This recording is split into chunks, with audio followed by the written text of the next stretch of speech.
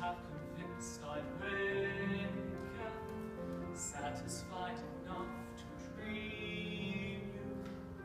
Happily I was mistaken, Joanna.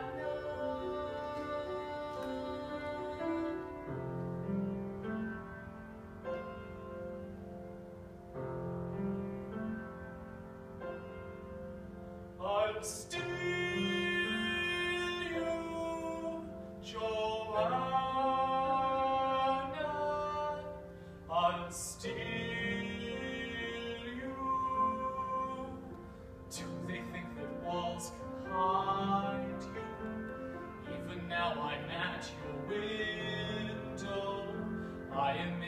dark beside you. Breathe sweetly